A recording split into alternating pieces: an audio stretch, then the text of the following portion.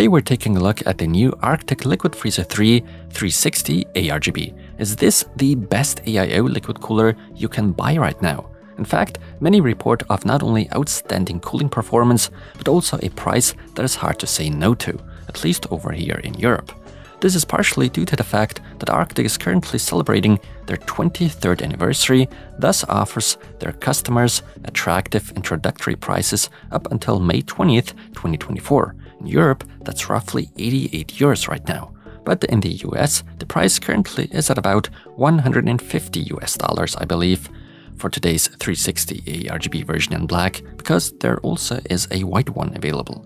How well does the Liquid Freezer 3 compare to its predecessor, the Liquid Freezer 2, also in terms of noise levels and overall setup? And what about the installation and mounting hardware on both Intel and AMD systems? Some users report minor to even more severe complications. So what are my experiences with that? Right off the bat, I will let you know Arctic have certainly improved quite a few aspects over their previous series with this Liquid Freezer 3, but there aren't just advantages and improvements over the Liquid Freezer 2. Here and there, we sadly also have to witness drawbacks. They back this product up with a 6-year warranty.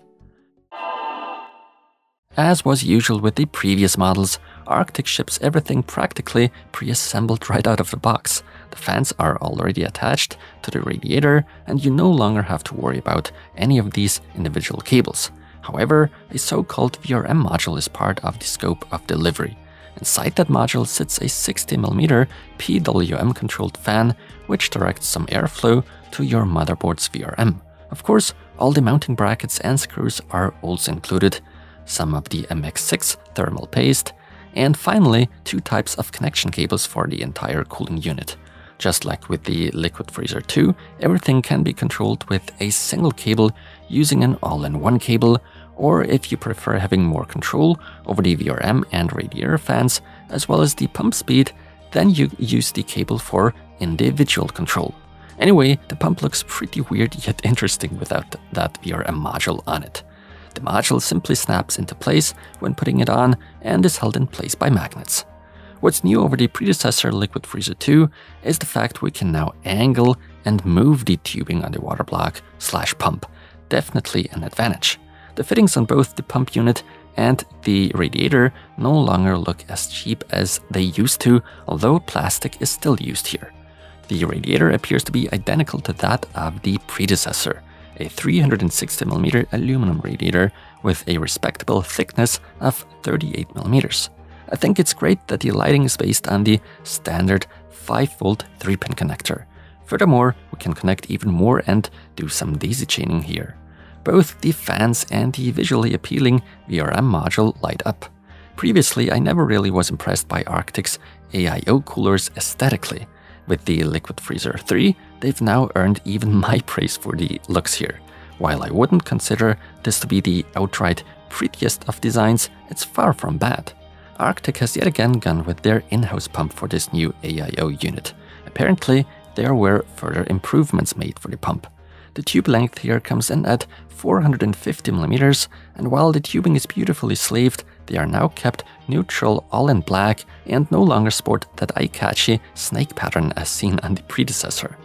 Compared to the Liquid Freezer 2, it is also clear that slightly different fans are used, namely the P12PWM PST with ARGB lighting. These achieve a slightly higher max fan speed. It is therefore to be assumed the Liquid Freezer 3 could end up being a little louder than its predecessor. According to Arctic, only the latest CPU sockets are supported. Among them would be, of course, AM5 and AM4, as well as LGA 1700 and even 1851, the latter of which hasn't even properly been released yet. Now, how was the installation onto my test systems? Starting with AM4, the offset for AMD Ryzen CPUs is already taken into account right out of the box that 5mm offset is pretty much predetermined. With the Liquid Freezer 2, we still had a choice.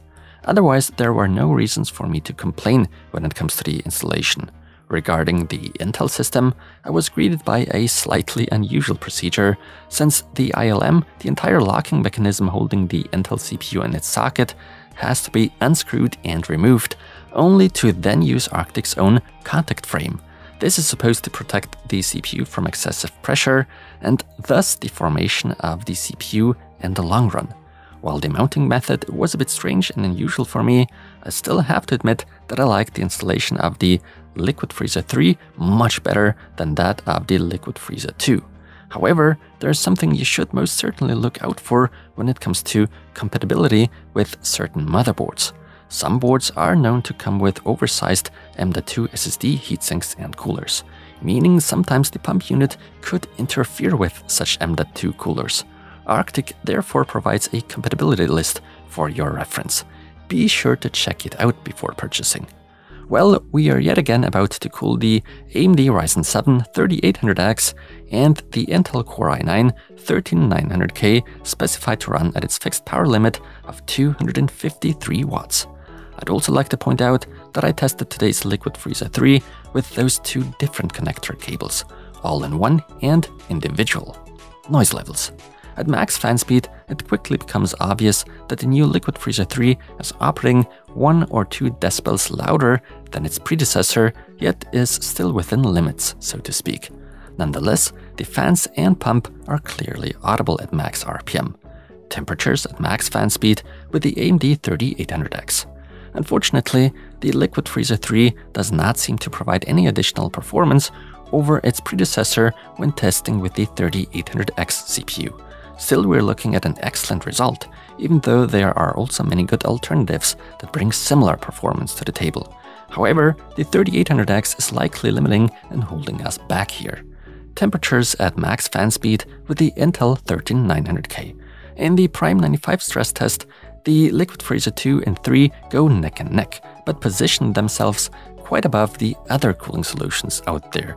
Both liquid freezer models that are controlled using the all-in-one connection deliver exactly the same performance in this particular test run. Only once the speeds are set individually to their max, we are able to squeeze out the last drop of additional performance. This, however, also comes at a cost of slightly higher noise levels, as we were able to measure earlier before. If we now repeat the test in Cinebench 2024, where we are dealing with quite the heavy AVX load, competing CPU coolers are now catching up. However, it is also clear that the Liquid Freezer 3 goes to show its strengths the higher the temperatures rise. The new Liquid Freezer 3 already being 2 to 3 degrees Celsius more powerful than the already impressive Liquid Freezer 2. Obviously, it did really well to begin with. Temperatures at a fixed 40 decibels. If all coolers are now tested against each other in a normalized 40 decibel run, it unfortunately quickly becomes obvious under a Prime 95 load that the older Liquid Freezer 2 still is slightly more powerful at the same exact noise level of 40 decibels. The successor AIO lags behind by 1 or 2 degrees. Compared to other cooling solutions listed, of course, still a great result, but I'm slightly disappointed, I'm not gonna lie. But the disappointment luckily is only short-lived, because once the load is increased even further using Cinebench 2024, the more current Liquid Freezer 3 is clearly pushing its way to the top, leaving the comparable Liquid Freezer 2 behind by 2 degrees. Generally speaking, a nice result, especially when compared against other 360mm AIOs or powerful air coolers. Conclusion Without a doubt, Arctic once again goes to show how cooling performance at a fairly reasonable price is done. As usual, they are leaving their competitors behind in many instances. In my opinion, there's hardly anything speaking against picking up such an Arctic AIO liquid cooler these days. Previously, the aesthetics, the look of the predecessor, Liquid Freezer 2, was a bit off-putting for many, or rather, it didn't really match any of the designs of systems it went into but I really welcome and like the appearance of this Liquid Freezer 3, while Arctic's identity clearly is still being very much intact. The installation is also fairly straightforward, I have to admit, although I did read and hear about people having hard times with it before. At least for me, everything went smoothly, so there's no criticism in that regard from me. In general, you should make sure there's no interference with M.2 heatsinks on certain motherboards. It's definitely worth taking a look at Arctic's compatibility list, just to be safe. What I would certainly rate as an advantage over the Liquid Freezer 2 is the fact that we are given the choice whether we want to control and operate everything with a single cable or rather control and run everything separately individually from each other. If you are particularly sensitive to noise, I would advise you to use the cable for individual control, as the VRM fan is definitely more powerful than the one found on the Liquid Freezer 2, thus also noisier. It's best to reduce the RPM of said VRM fan to achieve more pleasant acoustics for silence freaks. It just takes a little more work and effort to get everything dialed in right on this new Arctic cooling unit to adapt to our needs. That aspect was a bit more convenient with the predecessor. Still, credit where credit's due, I applaud Arctic for stubbornly doing their thing and not ditching the VRM fan, but rather making it even more powerful than before. To get back to the daring video title, yes, I would actually crown the Liquid Freezer 3 360 ARGB as one of the best AIO liquid coolers on the market right now. They nailed almost everything with it performance, looks, cable management, and most importantly, the price. So I can highly recommend this unit to every enthusiast out there. Now here's a question for you. What are your thoughts on the aesthetics of the new Liquid Freezer 3?